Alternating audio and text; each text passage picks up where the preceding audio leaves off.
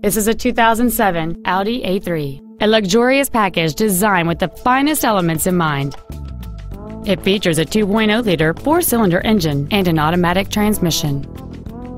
Its top features include air conditioning with automatic climate control, a leather-wrapped shift knob, cruise control, a rear window defroster, 10 perfectly positioned speakers, commercial-free satellite radio, traction control and stability control systems, halogen headlights, and this vehicle has fewer than 56,000 miles on the odometer.